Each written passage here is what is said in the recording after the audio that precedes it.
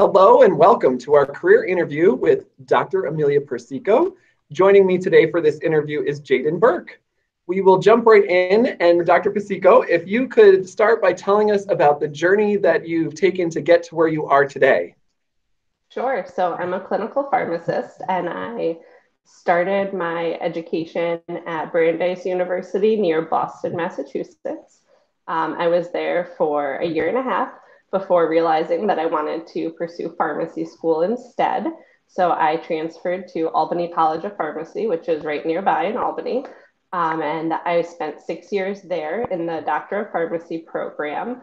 And while I was there, I also took classes at Union Graduate College, which is now known as Clarkson University. Um, I think it's Clarkson University Capital Region campus. Um, and I got a master's in business administration there. Um, and then I did two years of residency. So the first year of residency was at the VA hospital in Albany. And the second year of residency was at the VA hospital as well, but I spent most of the time in their pain clinic focusing on pain management. Wow. In all those education experiences, because you have so many, which is incredible, is there something that stands out to you, whether it was a course or a project or one of your residency? Was there something that stands out that thinking back in that moment, you were like, wow, I'm on the path that fits for me and this is working? Oh, goodness. Um, honestly, I think that the first time that I that I realized that I wanted to go into something in the science or medical field um, was actually when I was in high school taking AP biology. That was the first time that I realized that would be the right fit for me. So I think just going on through the classes in college and everything just reinforced that yes, I'm still on the right path. This is still something that inspires and excites me. Awesome. So in your current job, tell us about what does a typical day look like for you? Yeah, so I actually just started a new job on January 4th. So I can tell you all about what that's like. Um, it's really exciting. I'm working for a specialty pharmacy company now, um, and I actually get to work from home. So I'm here in my home office right now, and I do um, telephonic patient care. So all of my encounters with patients are over the phone, which is really exciting, not only because of the pandemic, but because I can reach the patients when they're at home in their own environment, living their lives. And it makes it a lot easier in my mind um, to, to get a feel for what their lives are like and how they manage their medications. So, um, specialty pharmacy is a subset of pharmacy and it focuses on medications or diseases that are more difficult for people to manage. So, a lot of the medications we deal with are injectable medications where the patients have to give themselves a shot um, every day or once a week or you know different things um, and another big area is oncology or cancer medications. So we work a lot with patients who are dealing with um, side effects from chemotherapy. So again it's really beneficial that we can just reach them in their homes because um, they may not be up for getting out necessarily. Um, and it's just one less appointment that um, some pretty sick patients have to deal with.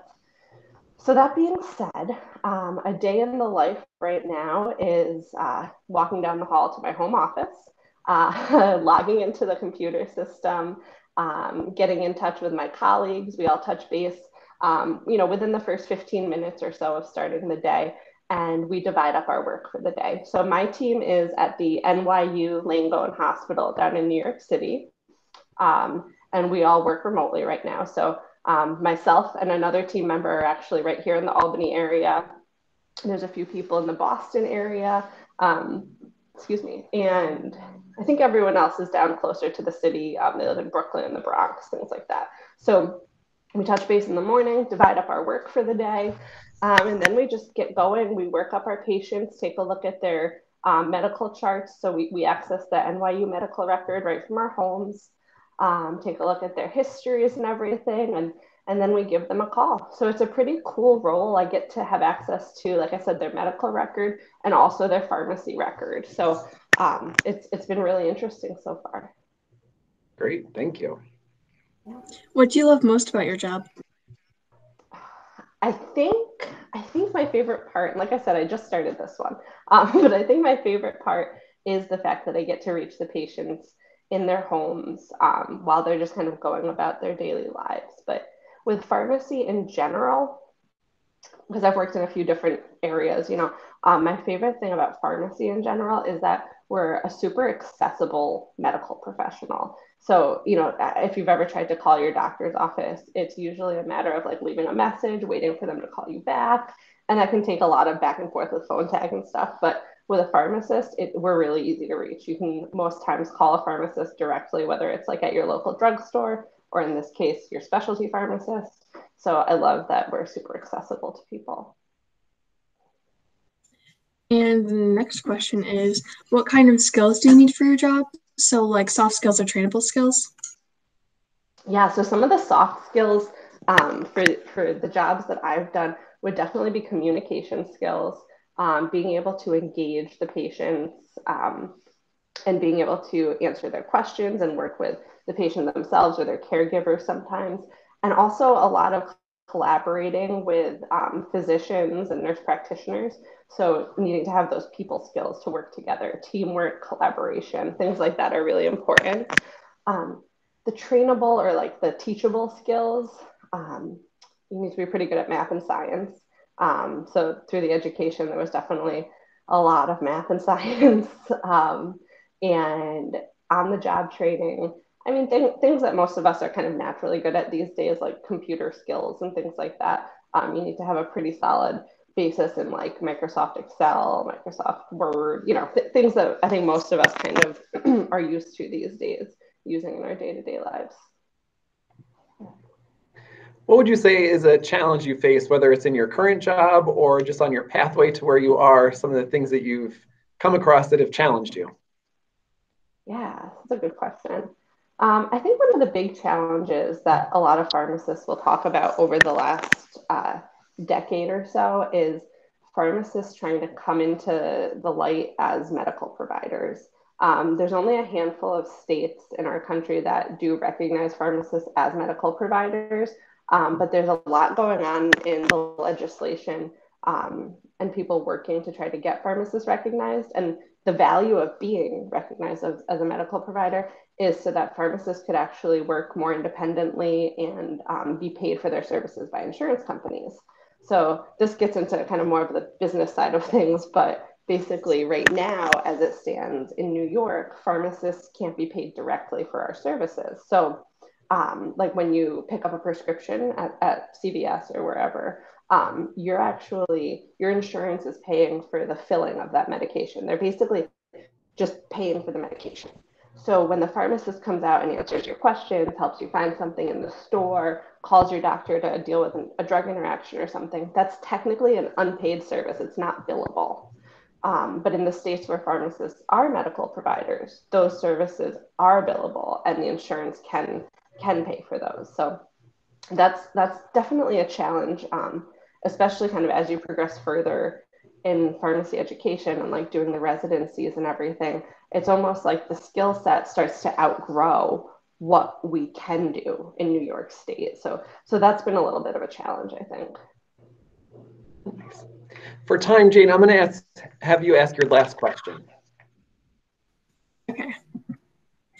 Um, were there any classes you took in middle school or high school that connect with your current job? Yeah, definitely. So I think I kind of touched on that in the beginning, right? Um, for me, like the light bulb went off when I was taking AP biology in high school. Up until then, I actually kind of thought I wasn't great at math and science. Um, to me, those were like my weaker areas. But once I took that class, I realized, whoa, I really like this. So even if it's not my strongest area, it's worth working harder at this to do something that I really enjoy rather than saying, hey, I've always been good at, you know, reading and writing and English classes, so I'm just going to take that path. But it's me, this inspires me, so that's what I'm going to work harder at and get better at it until I can do it. so it definitely, it was, it was definitely AP biology for me. So my last question is, is there something that you think people should know or you would like people to know, whether it's students or just people in general about pharmacy or being a pharmacist that they might not know otherwise?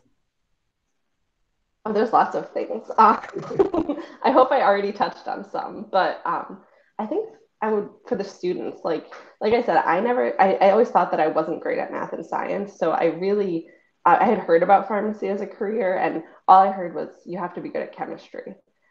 And I thought I wasn't good at chemistry. So I really just like pushed it aside and I was like, I can't do that. Like, that's definitely not an option for me. So I, I think my advice would be to really talk to someone who's in the field that you're interested in and truly find out the ins and outs of it. Because, yes, I did have to take chemistry in school, I had to take a lot of chemistry, but in my day to day job, I don't use chemistry, you know? So it, it's one of those things where it, it's always best to talk to someone who's actually doing it and get a real handle on on these careers that you're interested in before you make a decision that that something's not for you.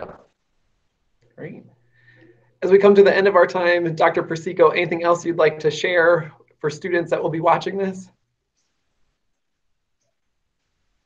I don't think so, but definitely feel free to email me if you do have any questions. I'm happy to talk about it. I obviously talked a lot. I really like my job and, and I'm happy to talk about it more. Great. Well, thank you so much for your time. We truly appreciate you taking the time and sharing this information that students can learn from. So thank you. Yeah, anytime.